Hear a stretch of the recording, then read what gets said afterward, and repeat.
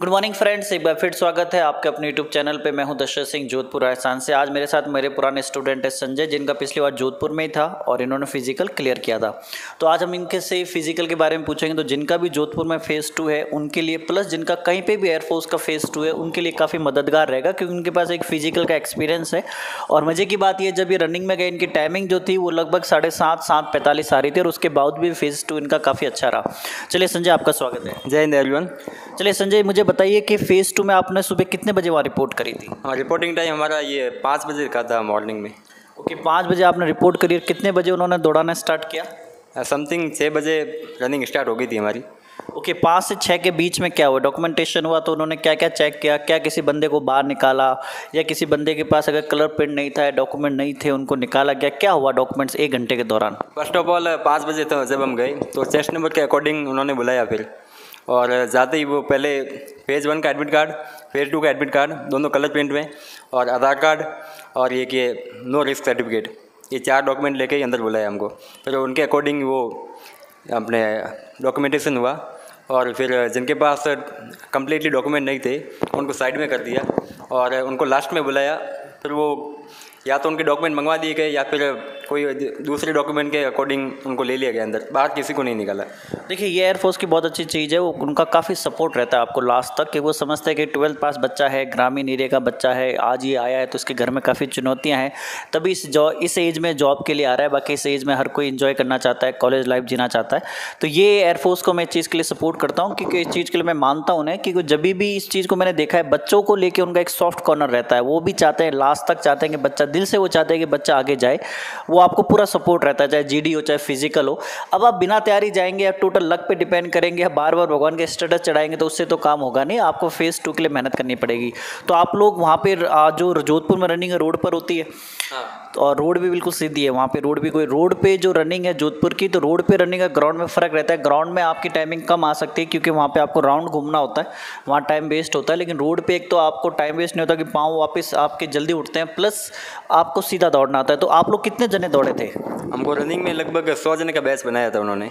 सौ में से कितने बच्चों ने रनिंग क्लियर करी? सौ में नाइन्टी जने लगभग पास हो गए थे रनिंग में। ओके जो बच्चे दस बंदे थे वो रुके थे या फिर वो कर नहीं पाए या बीच में रुक गए थे वो? दस में से चार पाँच ऐसे थे जो रुक गए थे बीच में ही और चार पाँच जने पहुँचे थे। लेकिन वो सही टाइम पे नहीं पहुँच पाए और तो देखिए अब सौ में से नब्बे जने आर्मी में रहता है सौ में से पंद्रह जने बीस जने पच्चीस जने। क्लियर है? यहाँ पे आप मान लीजिए सौ में से लगभग हंड्रेड परसेंट मान लीजिए अब नब्बे परसेंट नब्बे जने पास हो गए दस परसेंट रुके। दस में से चार पाँच तो खुद ही रखे बाकी सब जो गए थे बिना तैयारी के गए थे। तो सौ के रनिंग करने के बाद नब्बे क्लियर किया फिर नेक्स्ट स्टेप क्या होता है? नेक्स्ट स्टेप पुशअप का रहता है। और पुशअप में जो रनिंग करके आए उन सबको एक जगह बैठा देते हैं फिर पचास पचास के अलग बैच बन पुशअप आपकी कितने बजे हुई?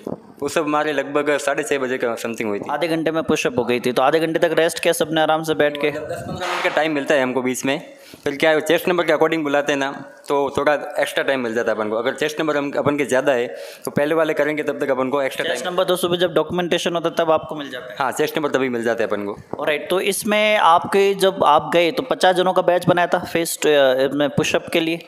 तो पचास जनों पर कितने लोग निगरानी रख रहे थे? पुशअप में पचास का बैच था और समथिंग दस एयरमैन और एक ऑफिसर उस पर खड़ा था। तो पचास में से कितने बच्चे क्वालिफाई किए? पुशअप में भी लगभग थर्टी फाइव टू फोर्टी जने पास हो गए थे लगभग। थर्टी फाइव टू फोर्टी जने पास हो गए थे पुशअप में। और राइट तो इसमें भी दस बारह से पंद्रह बच्चे बाहर हुए। तो पुशअप में आप क्या सजेस्ट करते हैं? कुछ लोग कहते हैं बीच में रहने से फ़ायदा रहता है। कुछ लोग कहते हैं साइड में रहने से आप ज़्यादा फंसोगे। आपका क्या फीडबैक रहा? ऐसा कुछ नहीं होता। आप पचास जने हो तो लगभग दस जने आप पे खड़े हैं निगरानी के लिए। तो आप मान लीजिए पचास में उनकी निगाह तो सब पे रहेगी। पाँच बंदे पे एक बंदा देखते ही तो साइड में होने से बीच में होने से उससे फ़र्क कुछ नहीं पड़ने वाला। आपकी पोजीशन सही है और आप उनको सही से सुन पा रहे हो। जैसे वो अप बोलते हैं तो अप होना है डाउन बोलते हैं डाउन होना है। तो उनके कितने दूर वो खड़े रहते हैं अपन से? जस्ट पास में ही पाँच फीट के एरिया में ही। ओके तो इसमें कुछ होल्ड करवाया था क्या? जोधपुर में आपके समय कुछ पुशअप के दौरान कुछ होल्ड या पुश अप में कोई टाइम दिया था या नॉर्मली करवाए थे एक मिनट का हाँ होल्डिंग भी था लगभग पाँच सेकंड का होल्ड था। एक मिनट में लगभग दस पुशअप अपन को करवा देते हैं। ओके तो सिर्फ़ पाँच सेकंड का ही होल्ड था। पुशअप के बाद नेक्स्ट उन्होंने क्या कराया? पुशअप के बाद नेक्स्ट स्कॉट था। स्कॉट में कितने बच्चे बाहर निकले? स्कॉट में ज़्यादा नहीं फिर भी पाँच छः बच्चे स्कॉट में बाहर हुए थे। पाँच बच्चे पैंतीस कितने का बैच था इसमें? हाँ पचास का ही बैच था।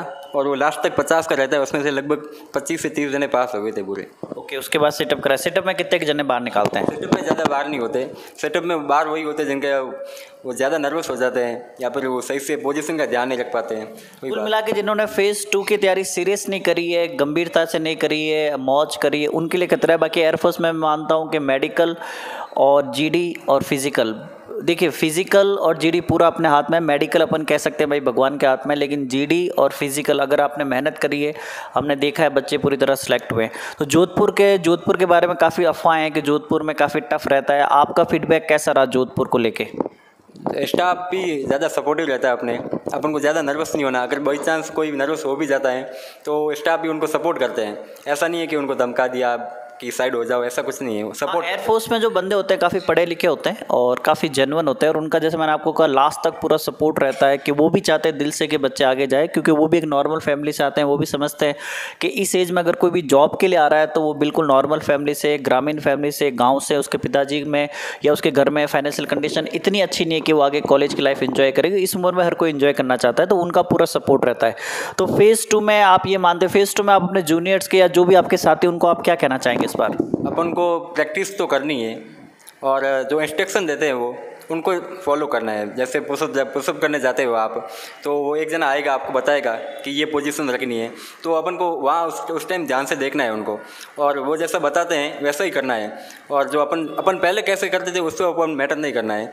जो अभी उन्होंने जो बता दिया, वो सेम टू सेम वहाँ कॉपी करना है।